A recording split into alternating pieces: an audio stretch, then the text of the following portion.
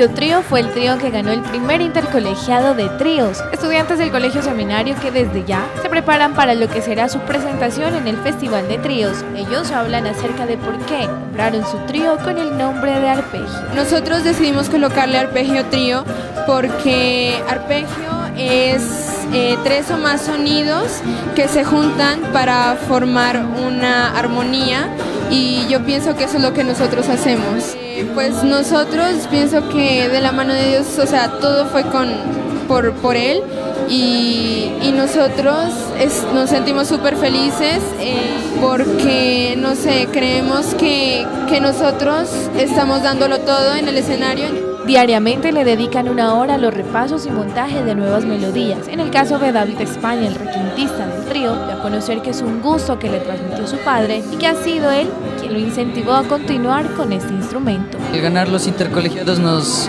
sentimos muy emocionados porque sabíamos que no era fácil ganarlo, pero al final pudimos dar todo lo, todo lo que teníamos preparado y, logramos conseguir nuestro objetivo. Y quien me incentivó fue mi papá para sacar el primer punteo que fue la vecilla y de ahí fue ya fui aprendiendo poco a poco.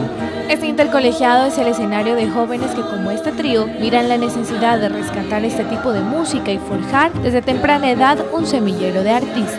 Hemos ensayado tanto que daremos lo mejor de nosotros para representar muy bien a las instituciones y también para preservar nuestra música, que pues la música de cuerdas es maravillosa y preservarla nosotros, jóvenes talentos, se siente aún más genial. Bueno, que es un trabajo muchas veces difícil, es arduo, exige muchas horas de dedicación y tiempo, pero que trae sus recompensas y eso pues lo vimos reflejado ayer con nosotros.